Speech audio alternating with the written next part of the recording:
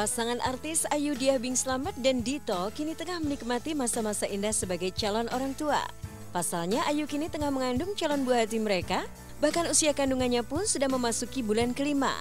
Dengan binar penuh kebahagiaan, pasangan yang menikah 13 September 2015 ini menceritakan pengalaman seru mereka selama kehamilan Ayu.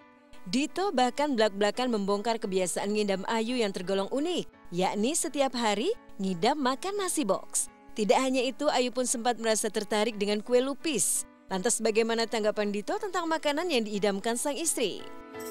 Ya, alhamdulillah sehat. Terus udah masuk ke lima bulan, uh, hamil udah umur lima bulan, mas, baru masuk lima bulan.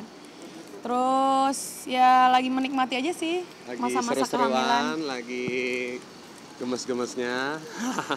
Kalau ngid, kalau ngidam sih sempat beberapa kali sih, jadi kayak baru bangun tidur gitu tiba-tiba baru melek mata kayak mas aku pengen lupis deh aku pengen ini deh gitu. Cuma kita nggak ngikutin sih karena emang apa namanya emang itu kan perubahan hormon yang membuat kita ingat sama rasa tertentu. Jadi kayak nggak apa-apa sih maksudnya ya udah yang paling ngidamnya dia ya yang lucu nasi box.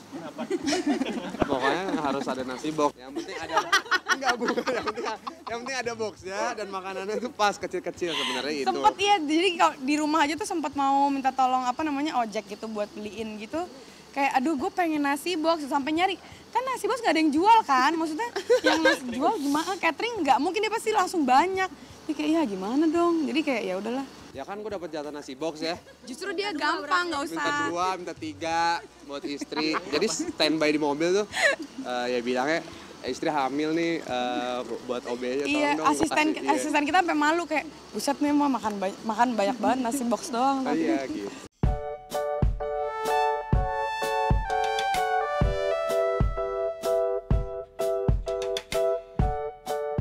Di mana ada Dito, di situ pasti ada sang istri yang menemani. Ya, pasca sukses berbadan dua, Ayu agaknya menjadi lebih manja kepada suaminya. Artis 25 tahun itu rela mengikuti Dito ke mana pun ia manggung. Sadar akan perubahan hormon yang wajar terjadi pada bumil, Ayu pun mulai melakukan olahraga ringan yang aman bagi kandungannya.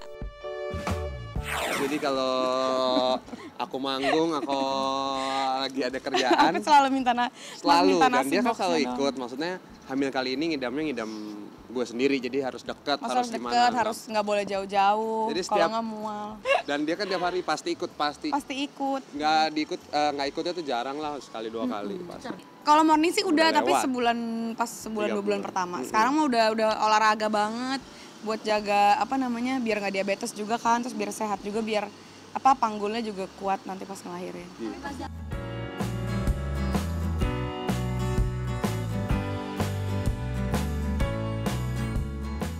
Bisa dibilang Ayu dan Dito tergolong cepat diberi kepercayaan untuk memiliki momongan. Mereka bahkan belum merealisasikan impiannya untuk berbulan madu. Pasalnya Ayu sudah keburu hamil.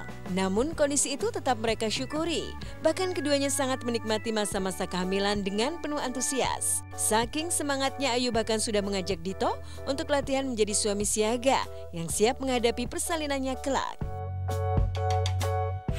Mau sebenarnya mau traveling dulu. Iya kita pas wawancara waktu itu kan kayak ah kita mau pacaran dulu. Eh taunya langsung, jadi. langsung dikasih jadi kayak ya udah deh nanti Apa kelas satu SD dek tinggal di rumah ya ayah mau pergi. Ya udah dengar udah dengar deh ya gitu. Pokoknya kelas ya kita udah persiapinnya itu. Cuman emang ya semoga aja diberikan kedewasaan lebih sih sebenarnya itu. Iya soalnya penting banget sih bener-bener maksudnya ya walaupun emang sih kita kelihatannya emang kayak bocah cuman dibalik itu semua kita sangat Bener. sangat mempelajari gitu apa yang harusnya dilakukan benar dilakukan gitu. Dan excitednya kita ya kita muda dan cepat. Kita ada maksudnya jadi cepat kita ada punya kans, anaknya kita gitu. Kita ada kans menjadi hot mama dan hot papa. Iya, jadi insya Allah, insya Allah udah siapnya lebih ke mental aja sih, uh, mental lebih dewasa, terus ngatur waktu sama teman. Yang susah kan itu. Temen lo banyak ya sama ya karena kan mau banget. Pokoknya, pokoknya gini sih kita lebih banyak jadi tuh dari sekarang aja dari umur 4 eh dari umur 3 bulan kita tuh udah gladi resik gitu loh kayak mas mas bayangin ya kalau sekarang gue brojol lo gimana? Gitu kita udah gladi resik. Maksudnya gini uh, itu kan momentum ya sebenarnya maksudnya soalnya aku apa namanya pengen banget semuanya perfect lah namanya Betul. juga ibu hamil